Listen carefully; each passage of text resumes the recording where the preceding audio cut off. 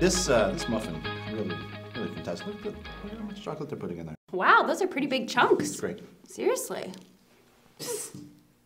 You're on. You're, you're on right now. Hi, I'm Pam MacArthur, And I'm Courtney Widley. and here are our top stories.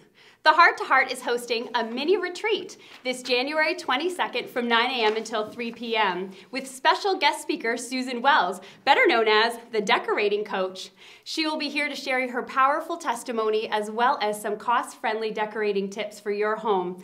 If your wallet is empty after Christmas, don't despair. Tickets are only $15, and that includes breakfast and lunch.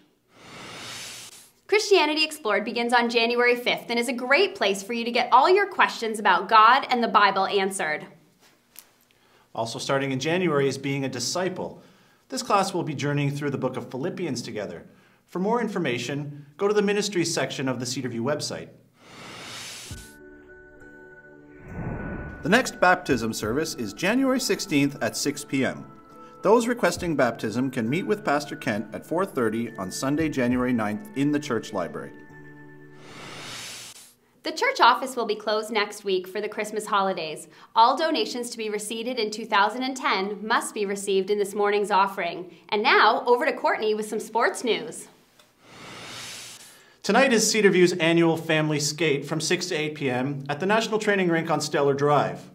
Please bring your helmets with you. You never know what might happen. Until next year, I'm Courtney Weidlich. And I'm Pam MacArthur, and that's news to me. Stay classy, Cedarview.